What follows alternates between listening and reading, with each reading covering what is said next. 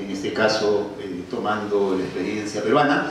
Y voy a dividir mi presentación en estas, en estas tres partes. En primer lugar, quiero referirme a algunas de las principales características que tienen que ver con la implantación que está implantación territorial que está teniendo la minería en varios territorios, sobre todo en el sur andino del Perú, que es una zona que hay que mirar con mucha atención.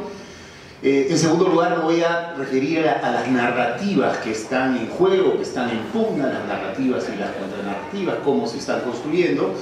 Y si me alcanza el tiempo, eh, la mirada de mediano y largo plazo, cuáles serían un poco las perspectivas. Pienso dedicar cinco minutos a Quisiera partir sobre el tema territorial de una experiencia que nos ha pasado la semana pasada.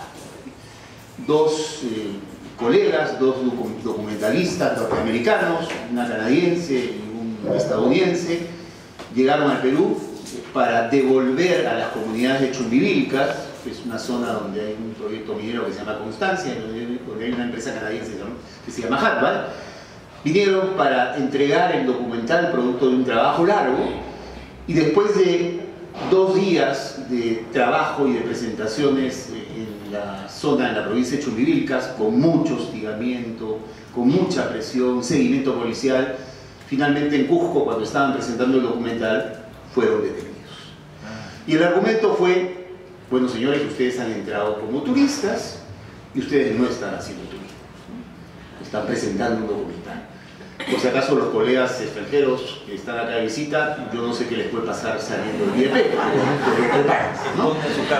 Este, eh, y, claro, el, sábado cuando estábamos acompañándolos al aeropuerto para tratar de garantizar mínimamente que no hayan problemas y que pasen por, por migraciones, ellos nos decían que el principal mensaje que ellos habían sentido y que habían recibido esos días en el Cusco era este mensaje de este, yo mando en este territorio.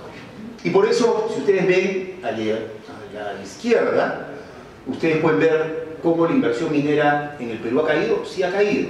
Llegó a un pico de 9.700 millones de dólares en 2013 y ha caído en los últimos tres años. Pero fíjense a la derecha la inversión minera a nivel global.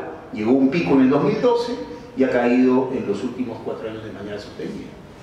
Pero además, podríamos decir, efectivamente en el Perú la inversión está cayendo, pero está cayendo a tasas menores de lo que cae en otros países en el mundo. Fíjense en este gráfico, la minería, la inversión minera en el Perú ha caído eh, en 10 puntos porcentuales, pero el promedio mundial es 18 puntos porcentuales.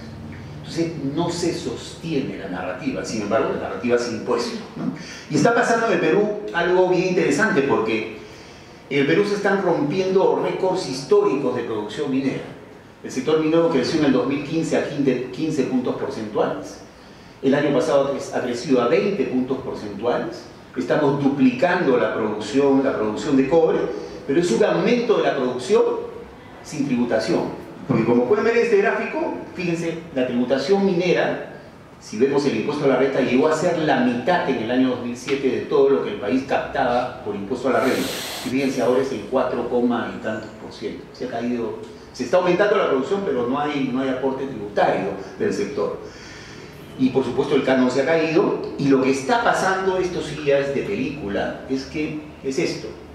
Les explico sencillamente este gráfico. Hoy en día el Estado peruano le está devolviendo más dinero a las empresas mineras de lo que las empresas mineras le dan al Estado peruano por tributación.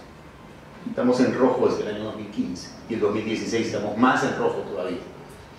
Y eso ocurre por un mecanismo que se llama la evolución del impuesto del IGB, del impuesto general a las ventas, los saldos a favor del exportador, es un tema tributario sobre el cual no me voy a detener. Ahora, este incremento de la producción de cobre, de duplicar la producción de cobre, se explica también por algo que apareció en la discusión anterior. Tenemos los costos de producción más bajos a nivel mundial un poquito más de un dólar. Y fíjense los otros países. Este, y claro, con la libra de cobre a 2.60 y con un costo de producción a un dólar, bueno, pues margen sigue siendo tremendamente atractivo. Entonces, esta narrativa de la tramitología y la permisología que las inversiones, tenemos los costos de producción más bajos en todo el mundo. Y si quieren ver proyecto por proyecto, hay, proyectos mineros de envergadura que tienen, que tienen costos de producción por debajo del dólar. Ahí está. Este, no hay punto de comparación la minería de cobre de Perú con la minería de cobre de Canadá, de, de África e incluso, incluso de China. Entonces, sin duda, este es el elemento central y esta es la narrativa que no, estos son los insumos para una narrativa alternativa que no estamos teniendo capacidad para construir. Para terminar, cero minutos. Este, a ver, dos, dos o tres cosas rápidas. ¿no? ¿Qué está pasando? Presiones más focalizadas sobre determinados territorios. En Perú el Suramino es un excelente ejemplo de eso, pero está pasando en varios países de América Latina. ¿no?